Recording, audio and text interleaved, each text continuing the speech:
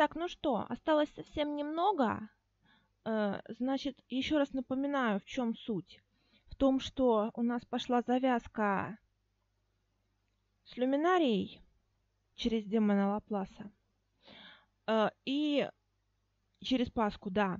И что я хочу сказать. Значит, у вас последний шанс эту тему разгадать. Как связаны, то есть связаны ли один и тот же этот дюк или нет, это сейчас определяющий фактор. Я имею в виду именно хотя бы... Ну, там очень сложная тема, когда в контракте. Он в контракте с королем. Вот этот в контракте с королем. Юрий его, они, конечно, будут сейчас в интересах Ульи действовать. Дюк ненавидит людей. Люто. Есть за что. Вот. Но дело в том, что они в Улей тоже не хотят, а мы загоним. Реально. Астерия, как я уже говорила, это вроде бы верх дерева, но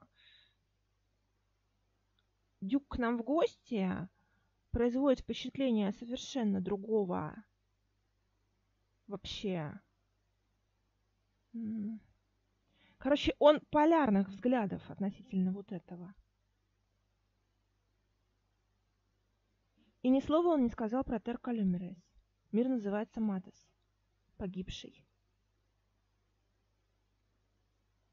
То есть, если вы думаете, что тут проблема только в Юрии, нет. Фокус вот этот идет, основной. Примерно вот, видимо, такого плана на самом деле подстава.